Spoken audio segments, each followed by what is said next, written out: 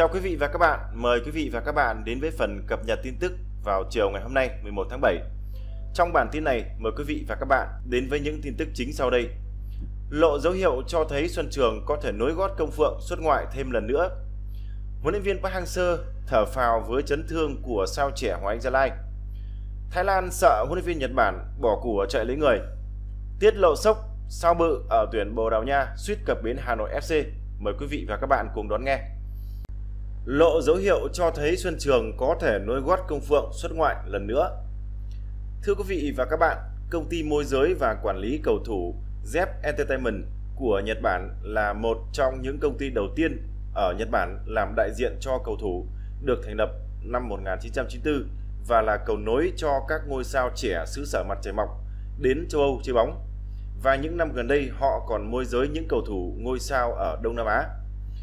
Sau khi trở thành người quản lý của tiền đạo Công Phượng và môi giới thành công, thương vụ ký hợp đồng với câu lạc bộ St. Jordan của Bỉ, mới đây công ty này đã cập nhật tiền vệ Lưu Xuân Trường đã trở thành thân chủ người nước ngoài của công ty trên trang web của mình. Đồng nghĩa khả năng rất cao Xuân Trường sẽ là cầu thủ thứ hai ở Việt Nam sẽ được môi giới chơi bóng ở châu Âu trong thời gian tới. Zep Entertainment là công ty đại diện có uy tín ở Nhật Bản nên rất có khả năng Hoàng Anh Gia Lai sẽ thực hiện thêm một bom tấn chuyển nhượng sau khi kết thúc mùa giải V-League 2019. Trước đó, Xuân Trường thuộc quản lý của công ty DG Management do Lee Dong Jun làm giám đốc điều hành. Đây cũng chính là công ty quản lý của huấn luyện viên trưởng đội tuyển Việt Nam ông Park Hang-seo. Hiện tại Lee Dong Jun với tư cách là người đại diện cho thầy Park đang làm việc với Liên đoàn bóng đá Việt Nam trong việc gia hạn hợp đồng với nhà cầm quân người Hàn Quốc.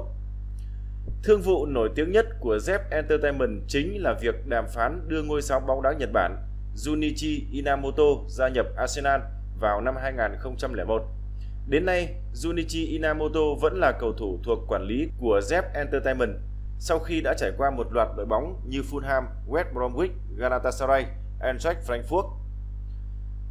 Cầu thủ đắt giá nhất hiện tại thuộc quyền quản lý của Zep Entertainment chính là trung vệ đội tuyển quốc gia Nhật Bản Takihiro, người vừa được đàm phán thành công trong thương vụ chuyển nhượng từ Shinchuiden sang Bologna với mức phí 7 triệu euro. Việc Takehiro chuyển tới Serie A khoác áo Bologna FC đã khiến cho anh và Công Phượng không thể trở thành đồng đội tại Shinchuiden. Nhưng đó lại là một thành công của Zep Entertainment khi họ khôn ngoan trong việc lựa chọn những bến đỗ thấp hơn để làm bệ phóng cho các cầu thủ gia nhập các giải đấu hàng đầu ở châu Âu. Huấn luyện viên Park Hang-seo thở phào với chấn thương của Thanh Sơn. Trong trận đấu tập với U18 Việt Nam vào ngày hôm qua, Trần Thanh Sơn đã bị đau sau một pha va chạm và buộc phải rời sân ở phút 78. Qua kiểm tra và đánh giá ban đầu, bác sĩ đội tuyển nhận định Thanh Sơn chỉ bị đau phần mềm do va chạm. Tuy nhiên, để xác định rõ ràng hơn mức độ chấn thương của Thanh Sơn, sau trận đấu, bác sĩ Trần Anh Tuấn đã đưa tiền vệ này đi chụp phim tại bệnh viện thể thao. Kết quả chụp phim cho thấy Thanh Sơn hoàn toàn không gặp tổn thương nào về xương. Đây có thể coi là điều khá may mắn đối với Thanh Sơn bởi anh đã từng bị chấn thương ở đúng vị trí va chạm này. Có lẽ chính vì vậy mà Thanh Sơn đã cảm thấy khá đau và không thể tiếp tục thi đấu. Các bác sĩ cũng cho biết Thanh Sơn có thể trở lại tập luyện và thi đấu bình thường. Trong trận đấu tập ngày hôm qua, một cầu thủ bên phía U18 Việt Nam đó là Võ Minh Trọng cũng bị đau phải nhờ đến sự trợ giúp của các bác sĩ. Tuy nhiên, trường hợp của Minh Trọng chỉ là hiện tượng bị chuột rút do vận động với cường độ cao và liên tục. Người Thái lo sợ huấn luyện viên Nhật Bản bỏ của chạy lấy người. Thái Lan đang lo lắng việc huấn luyện viên người Nhật Bản ông Akira Nishino không trở lại ký hợp đồng như thỏa thuận trước đó. Đã 10 ngày trôi qua, ông Akira Nishino vẫn chưa đưa ra quyết định về bản hợp đồng với đội tuyển Thái Lan. Tờ SMS Sport viết trong bài báo chiều ngày hôm nay 11 tháng 7. Liên đoàn bóng đá Thái Lan FAT đã đạt được thỏa thuận với huấn luyện viên Akira Nishino hôm 1 tháng 7 sau khi ông theo dõi các trận đấu tại Thai League 1 và Thai League 2. Trên trang chủ cũng như các trang mạng xã hội của FAT đều thông tin về việc đạt thỏa thuận với ông Akira Nishino trên cương vị huấn luyện viên trưởng đội tuyển quốc gia và U23 quốc gia Thái Lan. Dù vậy, sau đó ông Nishino đã trở lại Nhật Bản và cho đến nay chưa có chữ ký nào trên hợp đồng như phía Liên đoàn bóng đá Thái Lan mong đợi.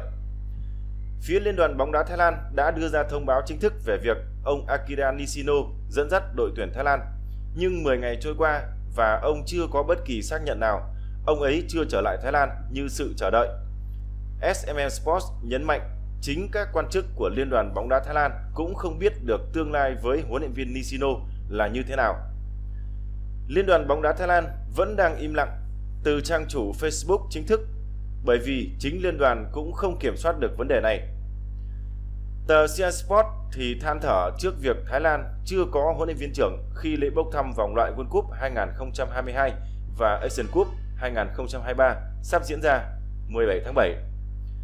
Tiến trình ký hợp đồng dẫn dắt đội tuyển Thái Lan và đội U23 với ông Akira Nishino vẫn chưa đi đến đâu, tờ CI Sport bình luận. Tờ này còn cho biết thêm, có rất nhiều lý do được đưa ra nhưng không ai biết thực tế sẽ là chuyện gì. Vì sao ông Nishino vẫn chưa đồng ý với thỏa thuận dẫn dắt đội tuyển của chúng ta? Ít ngày trước thì ông Withaya Lamhakun, phó giám đốc bộ phận kỹ thuật của Liên đoàn bóng đá Thái Lan, giải thích rằng ông Akira Nishino còn vướng hợp đồng làm giám đốc kỹ thuật của Liên đoàn bóng đá Nhật Bản nên chưa thể dẫn dắt Thái Lan. Tuy nhiên, theo tìm hiểu của tờ Sia Sport thì ông Akira Nishino thực tế không còn đảm nhiệm vai trò này mà thuộc về ông Takashi, huấn luyện viên từng dẫn dắt Nhật Bản vào tứ kết Olympic London 2012. Còn riêng tờ Tharat nghĩ đến kịch bản ông Akira Nishino bỏ của chạy lấy người sau khi ông đề cập với quan chức Withaya Lauhakun về việc cầu thủ Thái Lan kém về tư duy. Tiết lộ sốc sau bự tuyển Bồ Đào Nha suýt cập bến Hà Nội FC.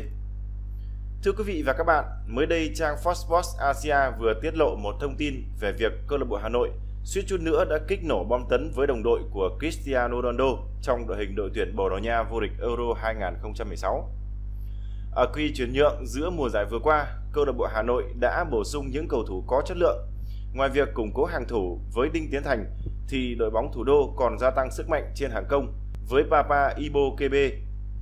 Tuy nhiên, mới đây theo thông tin từ tờ Fox Sports Asia, đương kim vô địch V-League suýt chút nữa đã có được chữ ký của tiền đạo đẳng cấp từng thi đấu trong thành phần đội tuyển Bồ Đào Nha trong hành trình vô địch Euro 2016, Ricardo Quaresma. Trong bài viết, sao chạy cánh Ricardo Quaresma được giới thiệu sang V-League thi đấu? Tác giả cung cấp đầy đủ các thông tin. Truyền thông Việt Nam vừa đưa tin Ricardo Quaresma đã được giới thiệu đến V-League thi đấu cho câu lạc bộ Hà Nội. Nhưng thời gian quá cấp bách nên phi vụ này đã lâm vào bế tắc Ricardo Quaresma là một trong những ngôi sao sáng của bóng đá Bồ Đào Nha trong quá khứ. Anh từng là người được vào sân thay thế cho Cristiano Ronaldo trong trận chung kết Euro 2016 với đội tuyển Pháp và sau đó giành chức vô địch của giải đấu danh giá này.